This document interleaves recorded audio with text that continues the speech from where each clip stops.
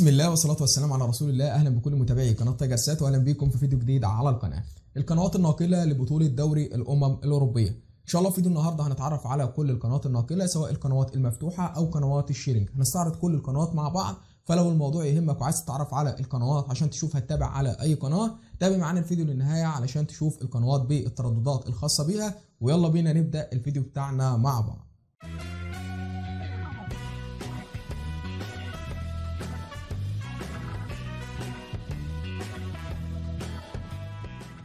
أهلا بكم مرة تانية والقنوات الناقلة لبطولة دوري الأمم الأوروبية. هنبدأ نستعرض مع بعض كل قنوات ال sharing وهنبدأ بأول قمر معانا وهو قمر الهسبسات.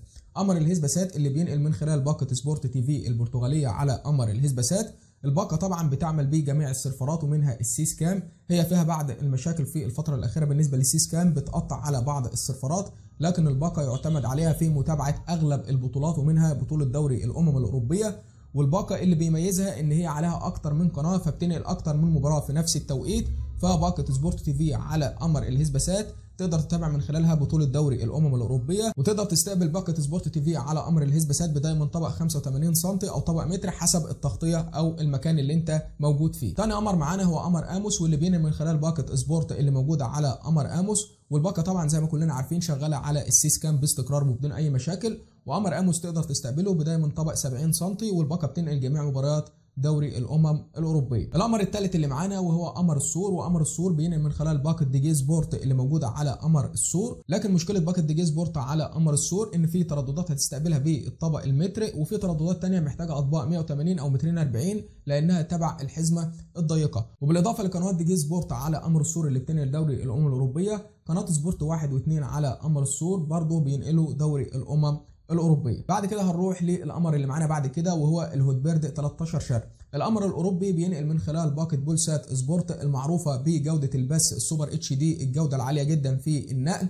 الباقة بتنقل جميع مباريات دوري الأمم الأوروبية على قنوات Polsat Sport. بالنسبة لاستقبال القمر الأوروبي تقدر تستقبل قنوات القمر الأوروبي بداية من طبق متر بكل سهولة. بعد كده هنروح لقمر تاني وهو قمر يوتل سات 16 قمر يوتل سات 16 شرقي بينقل من خلال باقة Super Sport اللي موجودة على قمر يوتل سات 16 والباقة تقدر تعتمد عليها في متابعة دوري الأمم الأوروبية لأنها فيها أكتر من قناة فتقدر تعتمد عليها في متابعة أقوى المباريات. لو في أكتر من مباراة قوية تقدر تتابعها على الباقة دي. واللي بيميز الباقة برضه هو التعليق الإنجليزي اللي موجود على الباقة.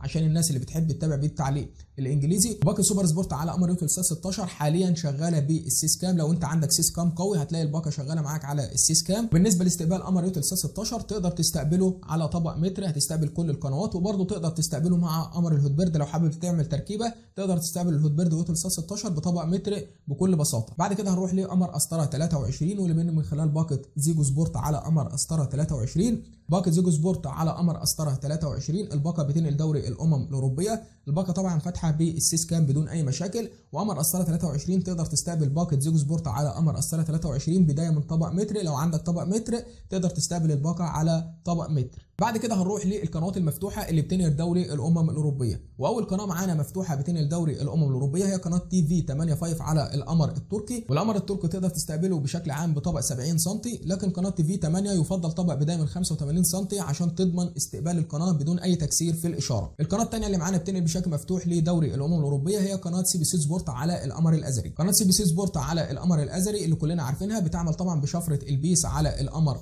الأزري. والقمر الأزري تقدر تستقبله بدايه من طبق متر بس تحتاج قطعة كويسة علشان تقدر تستقبل القمر باستقرار في الإشارة. والقناة تعتمد عليها في نقل أهم وأقوى المباريات بالنسبة لدوري الأمم الأوروبية. لو أنت حابب تستقبلها ولو أنت حابب تعمل تركيبة للقنوات المفتوحة هتستقبل القمر الأزري والقمر التركي على طبق متر. هتستقبل قناه CBC Sport وقناه TV 8 5 على القمر التركي فهيكون عندك قناتين مفتوحين لمتابعة البطولة. القمر اللي معانا بعد كده وبين برضه بشكل مفتوح هو القمر الإيراني وقناة TV 3 وقناة TV Varzesh على القمر الإيراني بينقلوا برضه دوري الأمم الأوروبية بشكل مفتوح يعني تقدر تعتمد على القمر الإيراني المعروف للجميع بنقل جميع الدوريات بشكل مفتوح.